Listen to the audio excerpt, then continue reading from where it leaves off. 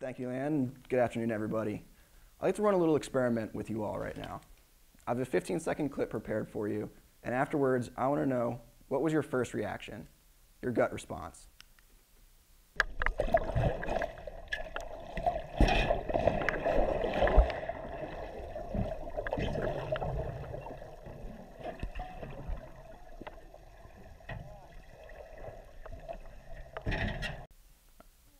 How many of you were scared, envisioning yourselves in place of the bait? I can see a couple of hands showing up. How many of you were surprised? In awe? How many of you wanted to immediately just get out of your chair and go jump in the water right now? there we go. We got a couple of hands up there. You guys should all be divers. Let's go get in the water right now. Anyway, as a scuba instructor and a research diver, I'll get in the water every chance I can get, especially if it's a chance to dive with these guys. Sharks have a rather nasty reputation. For centuries, they appeared in various mythologies as harbingers of death and despair. The 1975 release of Jaws terrified viewers that these mindless man-eating monsters were, were patrolling our shores looking for their next snack. Shark Week fills our TV screens every year with spectacular footage of aerial shark attacks and hyped up pseudo-documentaries. The print media certainly doesn't help very much either. Look at some of these titles.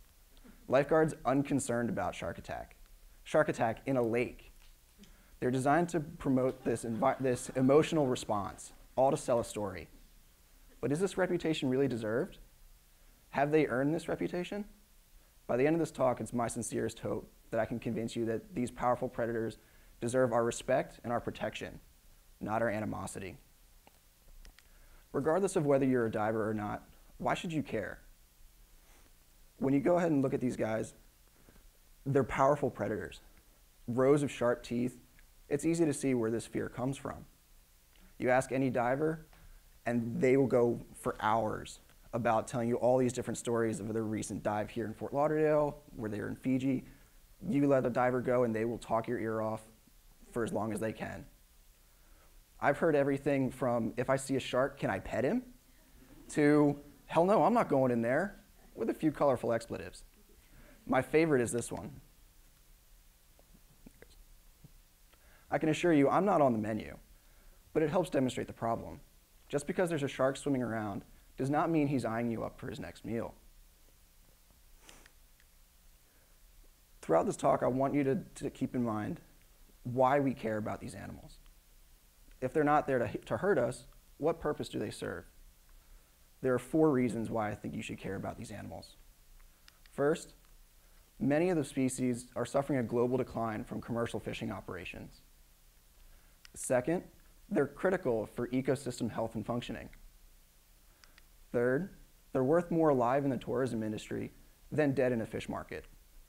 And fourth, and I may be a little biased with this one, they're just plain awesome. Before I dig into these, I want you guys to, to, get a little perspective.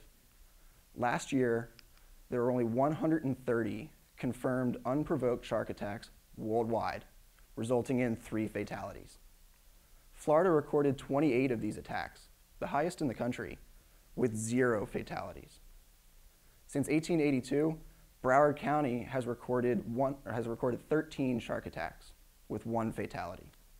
In 132 years, there have only been 13 attacks here. I think we're pretty safe in Fort Lauderdale.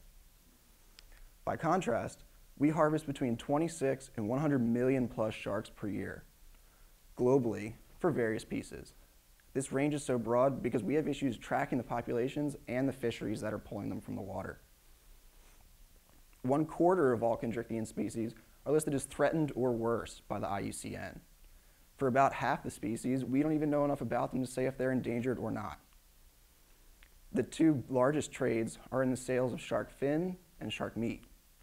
It's easy to see considering a single bowl of shark fin soup can retail for over $100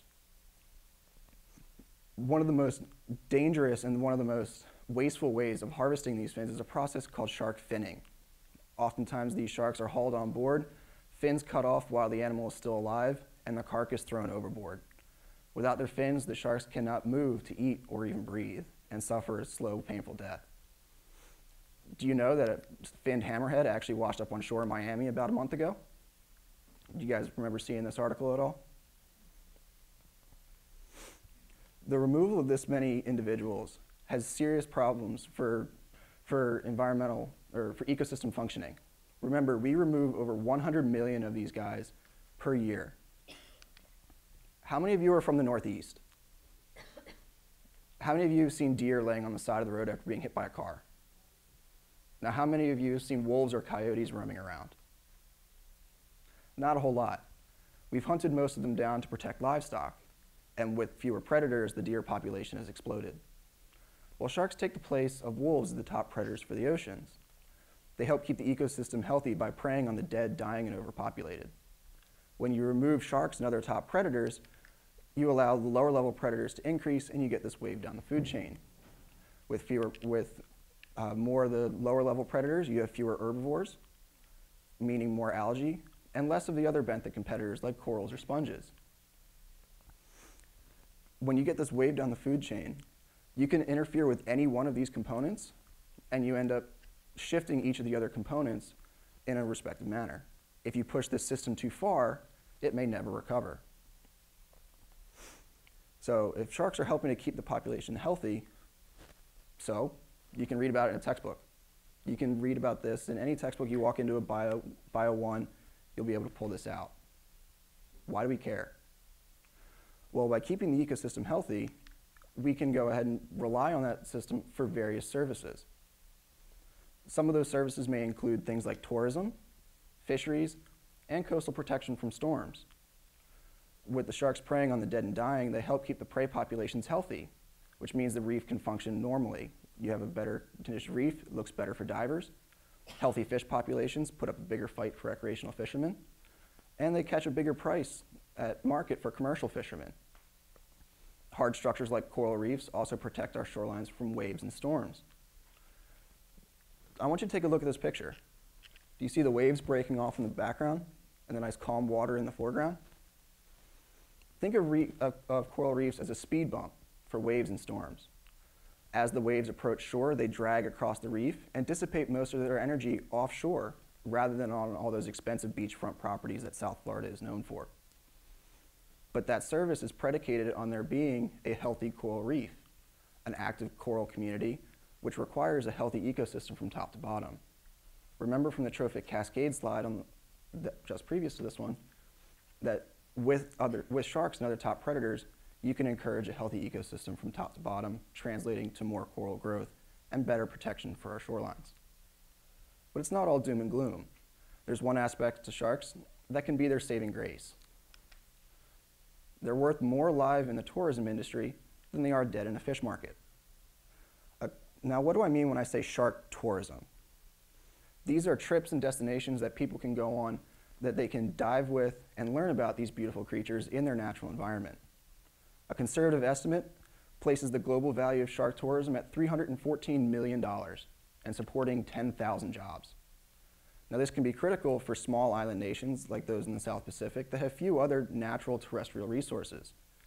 Islands like Fiji, Palau, they don't have a lot of landmass, they don't have a lot of agriculture, a lot of mining. What they do have are large ocean real estates and the fisheries that they contain. By showing these economies that they can support their, that they can use sharks as an alternative revenue stream, you can help put some of this money back into those local economies. In Fiji, shark tourism is valued at $42 million. An individual reef shark in Palau can fetch $1.9 million over the course of its lifetime.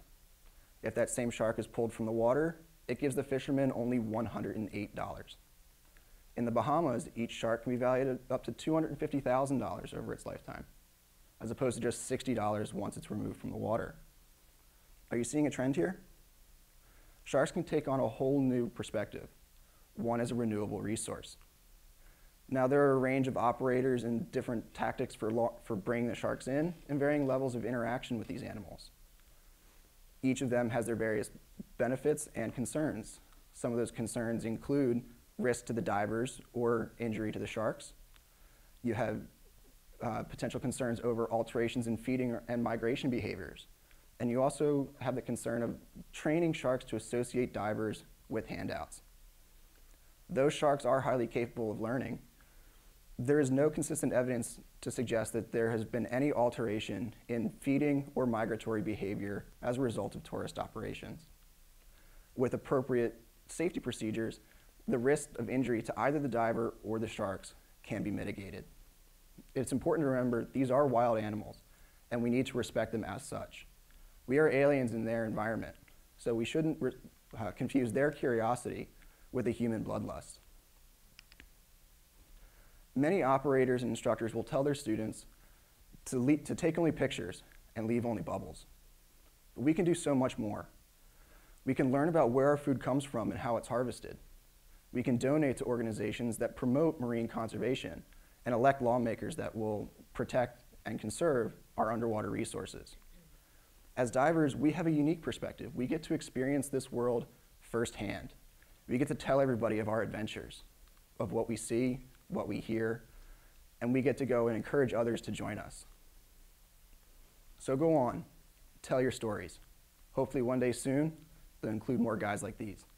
Thank you.